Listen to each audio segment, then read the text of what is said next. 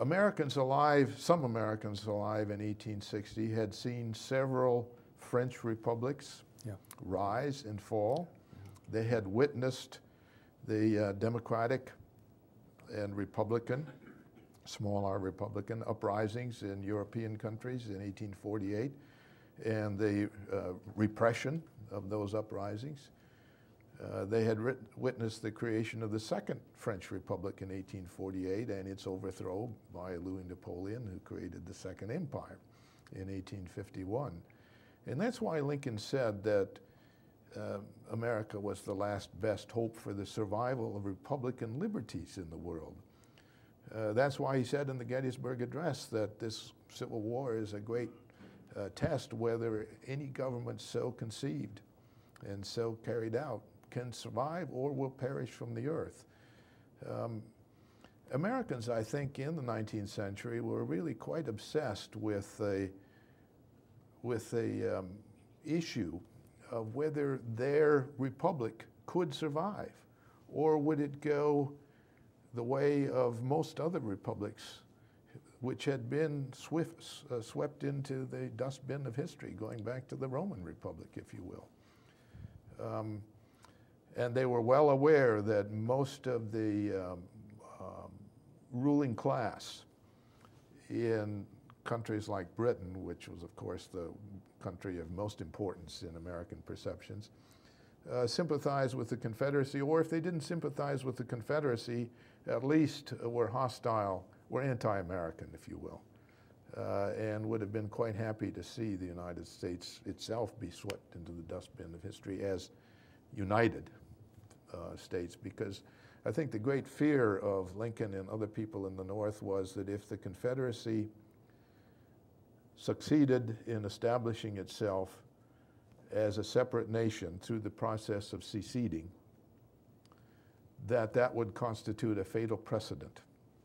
That any time in the future when a disaffected section of the country or a disaffected minority had lost a presidential election and felt that its uh, interests were no longer no longer represented by the United States government, it could invoke that precedent and go out of the United States, and that the the two words United States would become an oxymoron, become the disunited states. There would be no United States. That was, I think, the issue that uh, preoccupied Lincoln and I think obsessed a lot of people in the United States. Would this republic survive as one nation? And would the idea of a republic, of a democratic society, uh, be able to, uh, to, to, survive this division, uh, this war?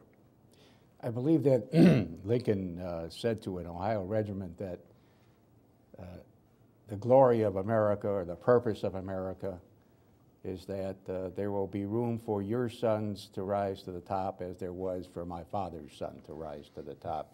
This question of personal mobility loomed large to Lincoln, didn't it? It certainly did, and in fact, I think that was the fundamental um, underlying ideology of the Republican Party. It's often called the free labor ideology, and an essential part of the free labor ideology is social mobility, the right of uh, people to move up through hard work, uh, through exercising their God-given talents, uh, that the society should um, uh, be open uh, to that kind of upward social mobility. We often call it the American dream.